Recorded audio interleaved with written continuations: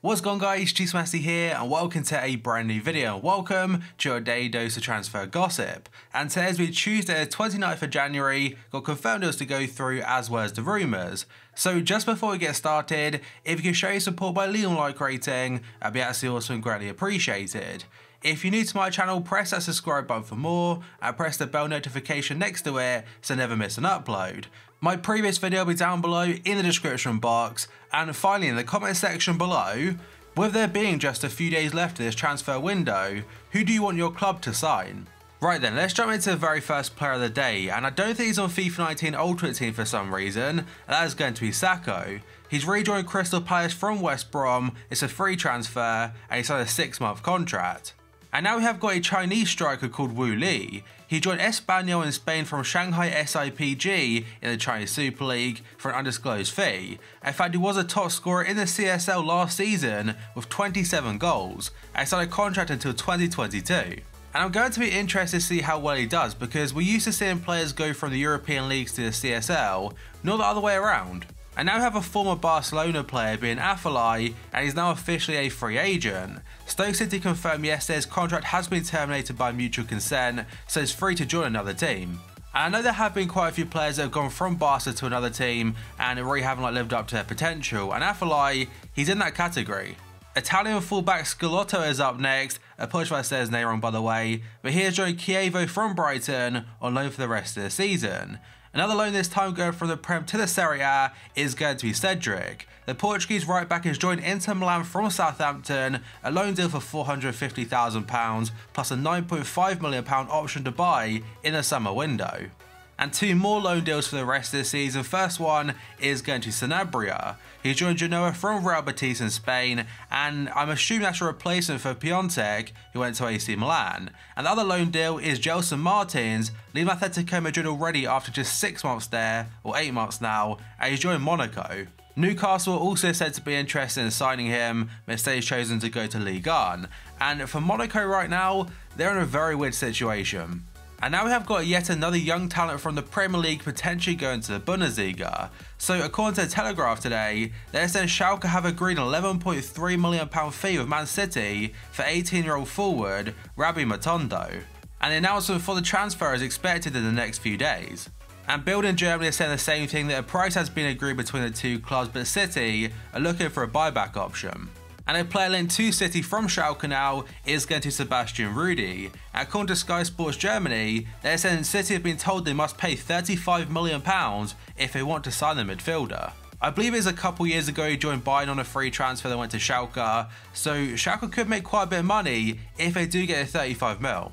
And now according to NTV Sport, they're saying Ricardo Quaresma is set to leave Besiktas for a move to Porto.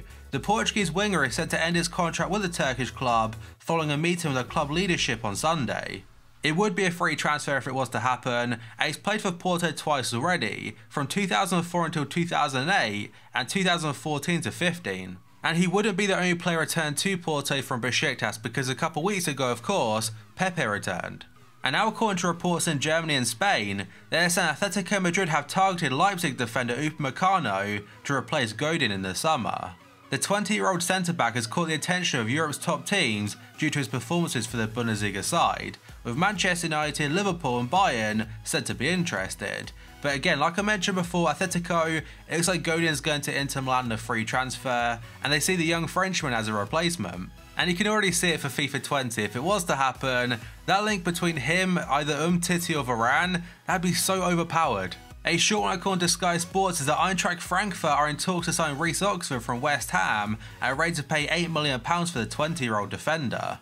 He did play briefly for Borussia Mönchengladbach in the Bundesliga about 18 months or so ago, um, and for some reason West Ham called him back, and I don't believe he got game time when he came back.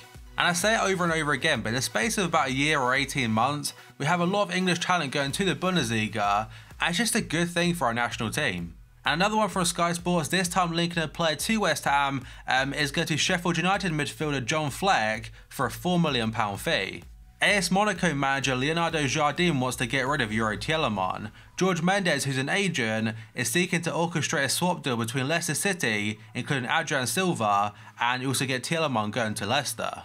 That was according to GFFN, and Sky Sports are saying the same thing that Leicester want to sign the Belgian midfielder for around £20 million.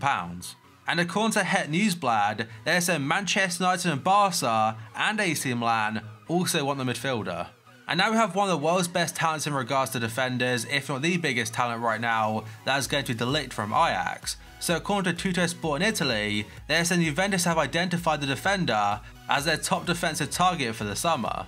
But Juve obviously won't be the only team interested because a couple days ago, there's a lot of interest there from Barca. And alongside those two, you have got the likes of Man City and also Paris Saint-Germain. And speaking about PSG, according to Le 10 Sport, they're saying Paris Saint-Germain have had a 20 million euro bid for Renato Sanches rejected by Bayern Munich. There were rumours a couple days ago saying that Bayern wanted 15 million more than PSG wanted to pay, so for 35 mil, that could be the deal they could go for. And a player that has already signed for Bayern this January transfer window, but will go for the summer window instead, is Benjamin Pavard. According to France Football, Bayern will not give up on fast tracking the transfer of the defender to this month. They said to offer 50 million euros now instead to make that happen.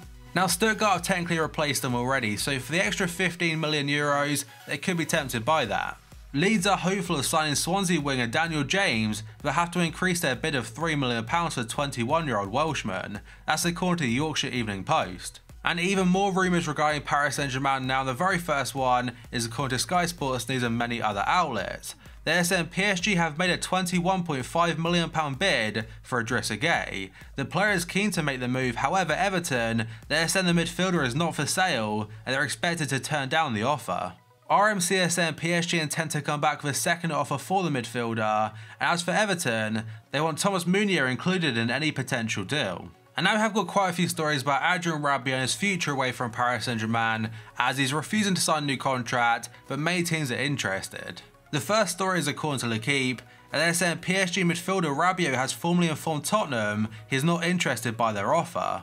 And they do go on to say he remains in discussions with Liverpool, Bayern Munich, Chelsea and Barca about signing for free in the summer. And Paris United are saying the same thing, that he was very hesitant about joining Tottenham, and if he was to come to the Premier League, he thought it'd be to join Liverpool. And that was after Spurs made a £20 million bid for him, and after they guaranteed him a first team spot. And now an interesting one according to Calcio Mercato is that Liverpool have opened talks with Sandro Tonali, a young Italian midfielder from Brescia, Liverpool have sent scouts to watch him in many matches this season, and Brescia are seeking 35 million euros.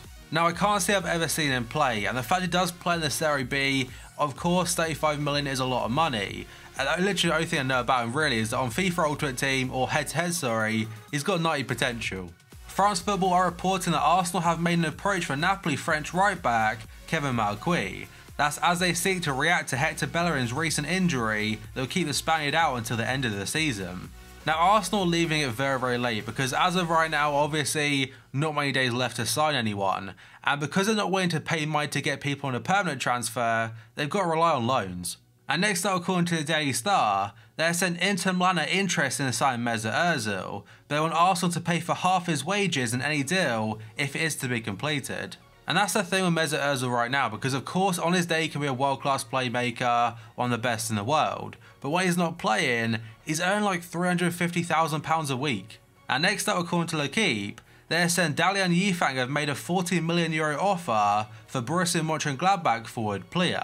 The contract on offer for the Frenchman is described as astronomical, it's a 5-year deal, and Dalian Yifang is still seeking to get rid of Yannick Carrasco and intend for Plea to replace him. The Chinese club's next bid is set to be worth more than 50 million euros. At that point, Gladbach will likely sell.